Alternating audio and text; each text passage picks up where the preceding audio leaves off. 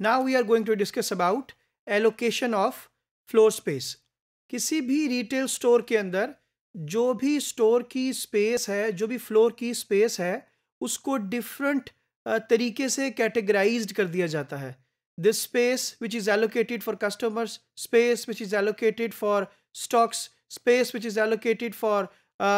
selling area selling space और for for the customer perspective तो हमारे पास चार तरह की स्पेस टाइप्स हैं। सबसे पहले सेलिंग स्पेस ये वो एरिया है स्टोर के अंदर जहाँ पर प्रोडक्ट्स को सेल करने के लिए डिस्प्ले किया जाता है। तो वो तमाम एरिया जो कि सेल्स एरिया के तौर पे कंसिडर किया जाता है, वो एरिया सेलिंग स्पेस की कंसिड्रेशन के अंदर आता है। स्टोर के अंदर सबसे ज़्यादा प्रोडक्टिव एरिया सेलिंग स्पेस कहलाता है सेलिंग एरिया कहलाता है, क्योंकि ये वो एक्चुअल एरिया है जहाँ से एक प्रोडक्ट सेल हो रही है, एक गुड्स एंड सर्विसेज़ कस्टमर जो है वो लिफ्ट कर रहा है। इसी तरीके से दूसरी तरह की स्पेस जो हम एलोकेट करते हैं that is for the merchandise अच्छा ये वो स्पेस है जो कि मर्चेंडाइज की, के लिए हम एलोकेट कर रहे होते हैं मर्चेंडाइज की प्लेसमेंट के लिए हम एलोकेट कर रहे होते हैं मर्चेंडाइज की स्टोरेज के लिए हम एलोकेट कर रहे होते हैं। तो what store has to do कि उसको कोई ना कोई इन्वेंट्री मैनेज करनी है ताकि शेल्फ की रिप्लानिशमेंट प्रॉपर तरीके से हो सके और कस्टमर को प्रोडक्ट्स टाइमली दी जा सके। तो वो स्पेस जो मर्चेंडाइज के लिए रखी जाती है स्टोर के अंदर दैट इज़ मर्चेंडाइज स्पेस तीसरे नंबर पे जो स्पेस है दैट इज़ पर्सनल स्पेस दो तरह के फैक्टर्स इसके अंदर हैं। ये वो स्पेस है जो कि आप अपने पर्सनल्स के लिए, अपनी टीम के लिए आपके स्टोर के अंदर है। बेशक वो ऑफ़िस एरिया की शक्ल में है बेशक वो उनके कैबिन्स की शक्ल में है बेशक वो उसके रैक्स की शक्ल में है जहाँ पे वो एम्प्लॉय डेस्क है जिसके ऊपर एम्प्लॉय की प्रेजेंस है या वो एंट्रेंस एरिया है जहाँ पर एम्प्लॉय जो है वो मौजूद है कस्टमर को वेलकम करने के लिए। सो so, वो तमाम पर्सनल एरिया जहाँ पर there are only personals available even security office also so ये space has been allocated for the personal specifically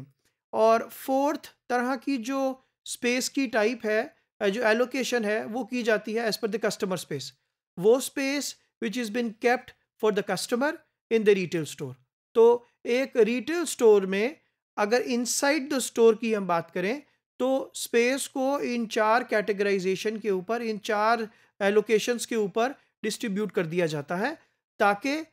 वो प्रॉपर प्लानिंग की जा सके और बिज़नेस का आउटकम एक पॉजिटिव तरीके से जनरेट किया जा सके।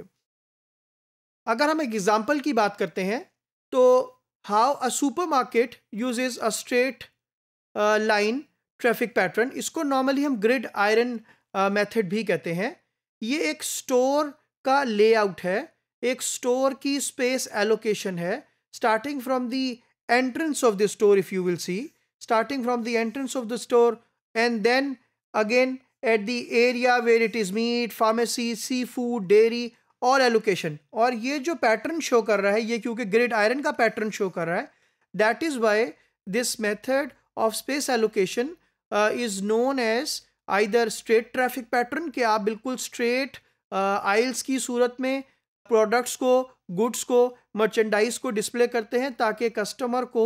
एक कोई भी कन्फ्यूज़न ना हो और customer straight aisle by aisle bay by bay move होता जाए और अपनी रिक्वायरमेंट्स की प्रोडक्ट को बाय करता जाए। For example he will start the customer will enter from here and then वो इसी तरीके से अपने ट्रैफ़िक फ्लो को मैनेज करता हुआ ग्रॉसरी से होता हुआ एचबीसी से होता हुआ, इस तरीके से the customer will make a continuous flow of is movement in to the store ताकि वो अपनी जो ग्रॉसरी आइटम्स हैं, अपनी जो शॉपिंग है, अपना जो एक्सपीरियंस है, वो स्टोर से ले सके and then customer will be checking out from the store इसी तरीके से अगर हम बात करते हैं एक डिपार्टमेंट स्टोर की, जो कि अगर किसी फ्री फ्लो मेथड की हम बात करते हैं या कर्व मेथड की बात करते हैं सो हमारे पास एक इस तरह का एक लेआउट नज़र आता है, जो कि आपके सामने रिफ्लेक्टिव है। अच्छा इसको अंदर क्या लिखा है, ये पढ़ने से ज़्यादा इंपॉर्टेंट बात समझना ये ज़रूरी है कि actually it is a free flow अच्छा फ्री फ्लो क्या है कि कस्टमर को जो स्टोर का लेआउट है वो इस तरीके से डिज़ाइन किया जाता है ताकि कस्टमर एक इजीली फ्लो में किसी भी डिपार्टमेंट से, इजीली किसी भी डिपार्टमेंट में चला जाए। ऐसा नहीं है उसको सीक्वेंशली वन बाय वन सारे डिपार्टमेंट से होके जाना पड़ेगा। So free flow movement in the store इसको कर्विंग ट्रैफ़िक पैटर्न भी कहते हैं इस लेआउट को,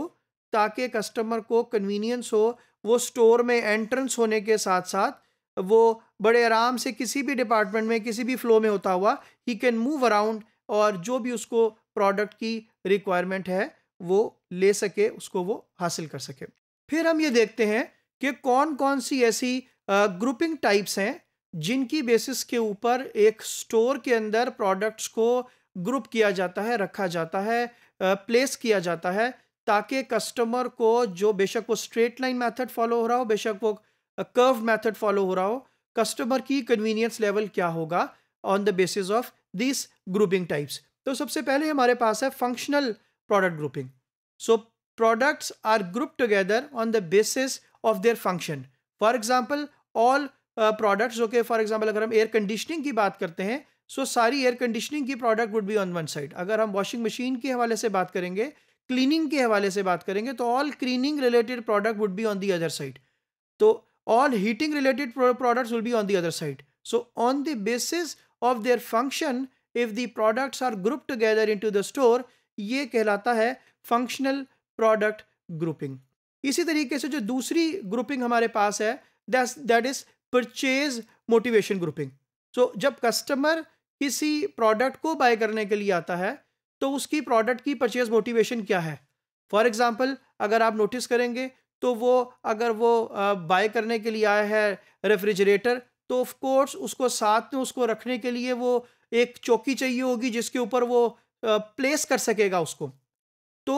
ये कस्टमर की मोटिवेशन है, उसको स्टेबलाइजर चाहिए होगा ताकि उसका वो रेफ्रिजरेटर उसका वो फ्रिज ख़राब ना हो। तो ये वो कस्टमर की मोटिवेशन है प्रोडक्ट मोटिवेशन है, जो कि आपको रिटेलर को इनक्रेज करती है कि वो मोटिवेट हो और उस तरीके से प्रोडक्ट की ग्रुपिंग करें। थर्ड लेवल पे जो हमारे पास है that is market segment product grouping जो मार्केट सेगमेंट प्रोडक्ट ग्रुपिंग है, ये वो बेसिस के ऊपर है, जहाँ पे जिस तरीके से मार्केट्स को कैटेगराइज करती है। फॉर एग्जांपल वाइट गुड्स हैं फॉर एग्जांपल ब्राउन गुड्स हैं फॉर एग्जांपल अप्लायंसेज हैं फॉर एग्जांपल हेल्थ केयर है। So product grouping on the basis of the market segments as identified by the market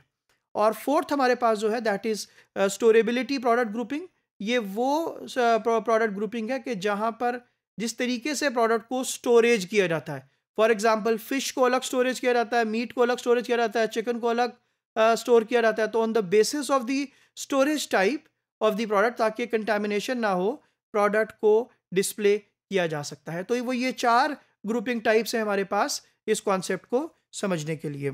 straight traffic pattern की हमारे पास कुछ advantages भी हैं, कुछ डिसएडवांटेजेस भी हैं। Let me quickly have a view on few advantages and few disadvantages so सबसे पहला एडवांटेज हमारे पास है कि an efficient atmosphere is created जब आप एक स्ट्रेट पैटर्न को फॉलो करते हैं तो आपका एटमॉस्फेयर बहुत अच्छा होता है। फ्लोर स्पेस जो है, वो प्रोडक्ट डिस्प्ले के ऊपर ज़्यादा एलोकेट कर सकते हैं। लोगों के लिए शॉपिंग करना बहुत आसान है। इन्वेंट्री को कंट्रोल करना इन्वेंट्री को सिक्योर करना इज़ ईजी टू डू और सेल्फ सर्विस का कॉन्सेप्ट को आप इजीली इंप्लीमेंट कर सकते हैं। अगर डिसएडवांटेजेस की बात करें तो it is less of an personal method more limited browsing by the customer और रश्ड शॉपिंग बिहेवियर जो है वो ऑब्ज़र्व किया जाता है क्योंकि कस्टमर कैन सी के इस आइल के अंदर इस बेग के अंदर कितने सारे कस्टमर जो हैं वो मौजूद हैं। एग्ज़ाम्पल uh, हमारे पास पिगली विगली की ओपन ट्रैफ़िक डिज़ाइन की है आपके सामने है। तो हमारे पास एक ओपन ट्रैफ़िक मेथड जो है, वो बहुत आसानी से कस्टमर को ये आइडेंटिफाई कर देता है कि आपको स्टोर में कहाँ क्या प्रोडक्ट पड़ी हुई है। You can easily go and you can buy this product